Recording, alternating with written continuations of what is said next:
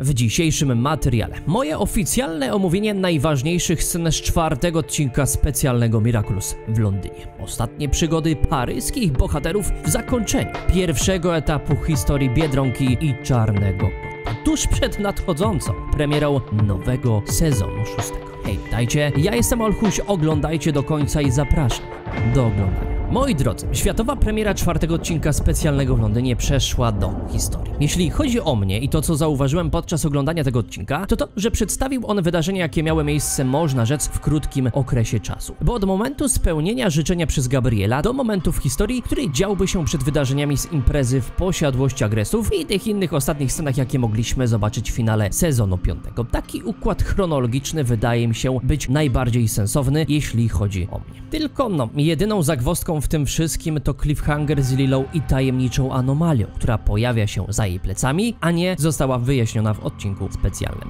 I wszystko byłoby git, gdyby nie to, że w tej scenie Lila ma dobrze znany nam strój, natomiast w końcowej scenie odcinka specjalnego ma inny. Wiadomo, ona lubi się przebierać, ukazywać nam nowe tożsamości, bla bla bla, ale po coś to robi, prawda? No właśnie, więc zmiana ubioru zapewne nie bez powodu w tej scenie czy w tej ostatniej. I jeśli faktycznie toczy się to takim ciągiem fabularnym, jaki przedstawiłem, to w tej scenie widzimy, że Lila nie używa pierwszy raz Miraculum Motyla. Więc moi drodzy, co to za anomalia? Ano taka, że według Tomasa przyjdzie na nią czas odpowiedni, jeśli chodzi o jej wyjaśnienie. I to na ten moment niestety musi nam wystarczyć. Idąc dalej, odcinek ten patrząc na całą jego historię posiadał również inny cel, prócz tego, o którym przed chwilą wspomniałem. Miał on pokazać znanych nam bohaterów i ich emocjonalny rollercoaster przez wydarzenia, z jakimi musieli zmierzyć się i stanąć twarzą w twarz. Jakie oni podejmą decyzje, jak druga strona na to zareaguje, jak oni poradzą sobie z tym ciężarem, który będą od tego momentu musieli nieść na swoich barkach i czy uda się jednej z nich uratować znaną nam historię, znane nam uniwersum.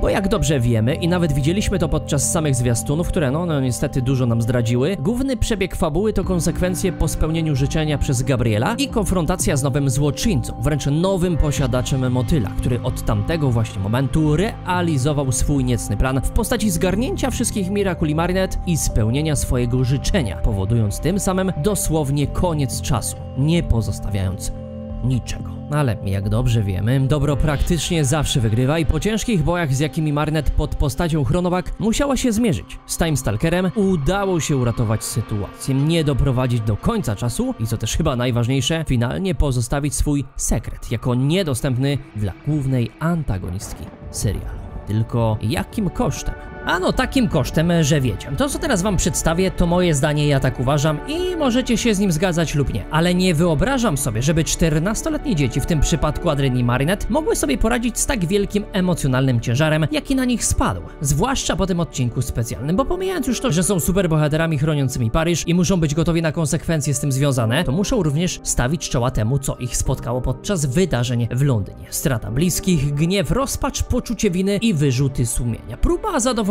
innych, często kosztem siebie, a to wszystko tylko po to, by ktoś inny nam bliższy był szczęśliwszy. To naprawdę duży ciężar dla tak młodych osób. Bo tutaj jeśli chodzi o naszych paryskich głównych bohaterów, to każdy z nich musi nauczyć się żyć z konsekwencjami wydarzeń, jakie miały miejsce przez wcześniejsze wydarzenia, czy może i nawet różne bliskie im osoby. I wydaje się, że patrząc na to wszystko, na całe te wydarzenia z rodziny Agrestów, począwszy od sezonu pierwszego do piątego, to chyba każdy maczał w tym palce świadomie lub nie. No popatrzcie, Puff, Emily, powstanie Adriena, jej choroba, Gabriel jako władca ciem, chęć zdobycia Mirakuli Biedronki Czarnego Kota, akumizacja Paryżan, próba przywrócenia Emily do świata żywych, kontrola Adriena, związek Adrianette, obsesja Gabriela na jej punkcie, kosztem innych, w tym Natalii czy swojego syna, który po części też miał w tym udział, jeśli chodzi o odejście Gabriela, bo jako Czarny Kot nie dość, że nie pozwalał, aby Gabriel wygrał i żeby nie zabrał mu Miraculum, to zaatakował go chcąc nie chcąc kataklizmem, który go wyniszczał aż do finału sezonu piątego, więc czy zmieniłby on swoje życzenie pod sam koniec finału, czy też nie, to i tak by odszedł, no chyba, że za jego życie ktoś inny by beknął, bo wiecie, równowaga musi być, no możliwe, że Lila, ale wtedy nie mielibyśmy kolejnej historii, więc no mniejsza, ale pewnie wielu z was by się cieszyło. W każdym razie, tutaj w tej całej historii są takie aspekty, które miały się pojawić i były takimi ogniskowymi, które na siebie oddziaływały, przez co Adrian niestety musi pogodzić się z rzeczywistością, która dla niego jest bolesna i otworzyć się na nowe, w którym nie ma już jego ojca, matki, Alejs i Marynet, Natalie i inni, którzy sprawią, aby on czuł się jak najlepiej w całej tej atmosferze owianej kłamstwem. I pomimo tego, że w ostatnich scenach sezonu 5 widać jakoby zaakceptował fakt lub chociażby po części z tej żałoby miał wychodzić lub przeszedł kolejny etap, to i tak moim zdaniem Adrian mimo wszystko nie zasługuje na to, co aktualnie się tam dzieje w jego życiu. Nie zasługuje na takie kłamstwa o swoim ojcu, który rzekomo jest bohaterem, tylko naprawdę. Jaka by ona nie była, a możliwe, że i nawet gorsza. Moi drodzy, pytanie, czy trzeba mieć za złe Marynet, że tego nie zrobiła i postąpiła jak postąpiła? Czy trzeba mieć za złe do innych, którzy znają prawdę, a tego nie zrobili i trzymają się jej kurczowo tak, jak przekazała Biedronka? Bo moim zdaniem ciężko powiedzieć, bo aby zrozumieć Marynet, bo o nią tutaj w dużej mierze mowa, wypadałoby moim zdaniem znaleźć się w takiej samej sytuacji, w jakiej ona była. A tam było przeróżnie, bo jak wspomniałem, rozpacz, poczucie winy i wyrzuty sumienia. Próba zadowolenia innych kosztem siebie, a to wszystko tylko po to, by ktoś inny nam bliższy był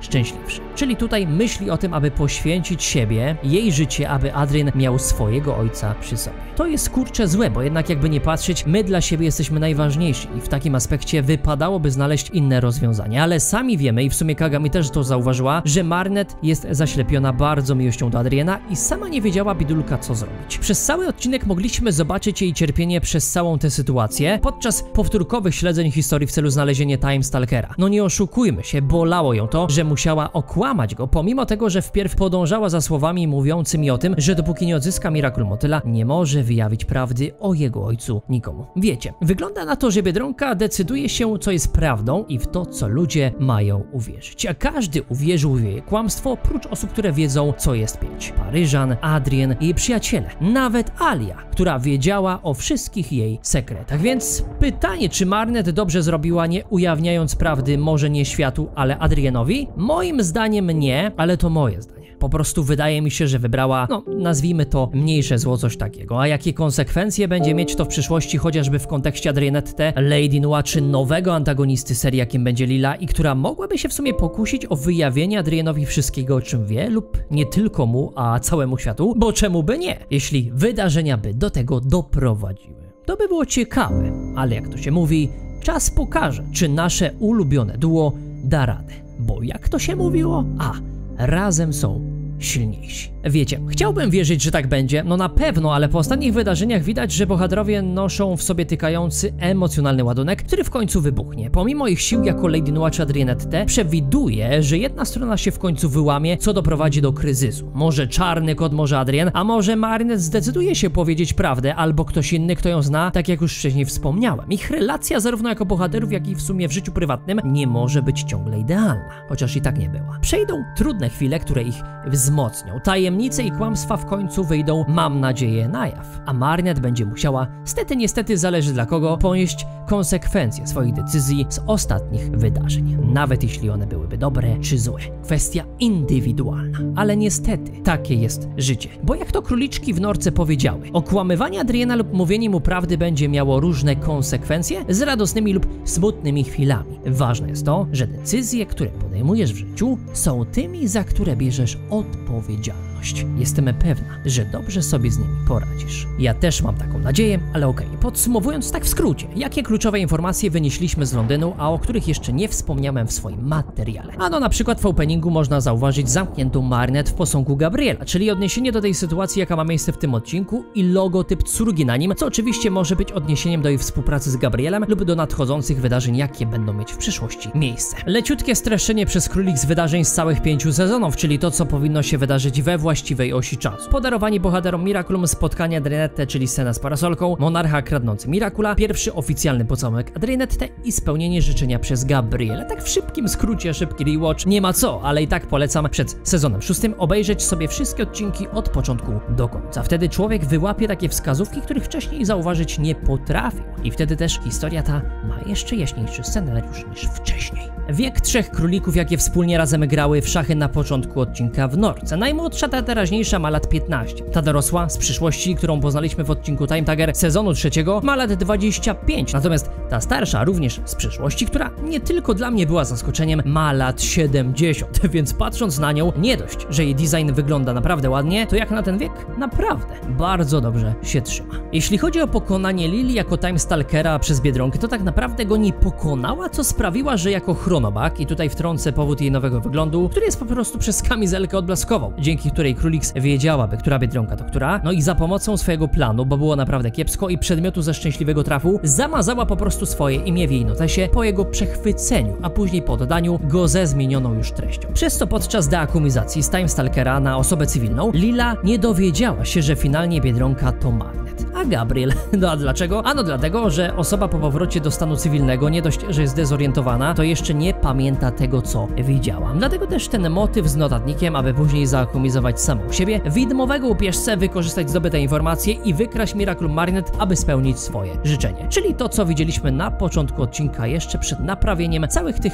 wszystkich szkód wyrządzonych przez naszą nową antagonistkę. I tutaj muszę powiedzieć, że plan naprawdę genialny, a jeśli nie dowiedziała się, to i można również powiedzieć, że widmowy łupieżca nigdy się nie pojawi, bo nie miał takiej potrzeby. I po wykonaniu szczęśliwego trafu w norce, wróciliśmy do momentu, w którym Marnet powinna dowiedzieć się o spełnieniu życzenia, ale tak się nie stało, bo bieg historii został zmieniony, naprawiony, uratowany, jak zwał, tak zwał, nie naruszając jego właściwości, które mogłyby zakłócić to wszystko. Czyli zostało to zrobione tak, jak powinno być, jak miało się wydarzyć. I też tak to widzę, jeśli chodzi o grafikę, która wyświetla Wam się teraz na ekranie. Możecie sobie zastopować i przyjrzeć się, jeśli chodzi o chronologię przybiegu odcinka w Londynie. Kwestia, o której już wiedzieliśmy, widząc finał sezonu 5, ale to w tym odcinku Marnet podejmuje decyzję o oddaniu Miraculi do innych posiadaczy, którzy wcześniej byli ich nosicielami. No i taka fajna, ostatnia ciekawostka podczas sceny, w której to Marnet zabiera swoje Miraculum z czasów odcinka z Origins, bo wchodząc z powrotem do norki ze zdobyczą, powiedziała, że czuje się jakby to było 10 lat.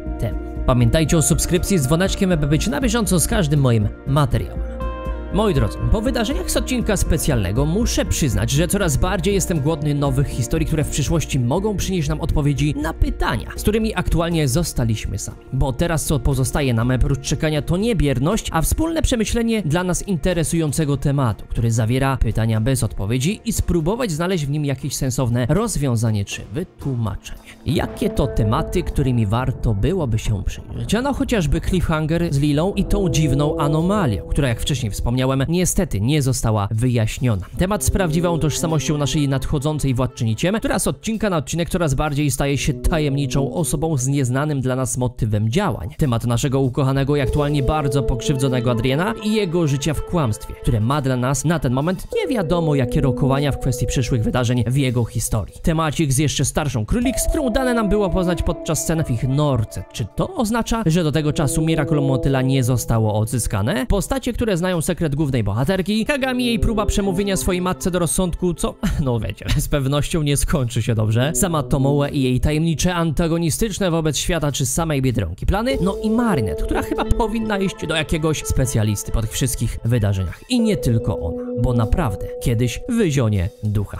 Jeśli macie jakieś inne propozycje w kwestii tematów, to dajcie znać w komentarzach, bo teraz dla was bardzo ważne pytanie. Słuchajcie, odnosząc się do jednego tweeta, który aktualnie pokazuje wam się na ekranie, czy waszym zdaniem była konieczność obejrzenia tego odcinka przed emisją sezonu szóstego? Bo padło takie pytanie przed jego premierą. Czy jest konieczność obejrzenia tego odcinka, aby zrozumieć fabułę nadchodzącego sezonu szóstego? Bo moim zdaniem jak najbardziej. Odcinek ten czwarty już na liście chronologicznej z serii Worlds dostarczył mi naprawdę, ale to naprawdę bardzo mocnych wrażeń fabularnych. Obejrzałem go dla nowego kontentu, który był rozszerzeniem dla finału sezonu piątego i który był genialny pod względem samej fabuły, muzyki czy reżyserii, jeśli chodzi o inne poprzednie odcinki z Miraculous. Obejrzałem go, aby zrozumieć pewne zachowanie bohaterów w nadchodzącym nowym sezonie. Dlaczego zachowują się tak, jak się zachowują? I dla pewnego, ważnego dla nas fanów wydarzenia w świecie Biedronki i Czarnego Kota, o którym wspomniałem już na wstępie tego materiału. W lipcu 23 roku po emisji finału sezonu 5 człowiek nie miał pojęcia, że przed nowym sezonem 6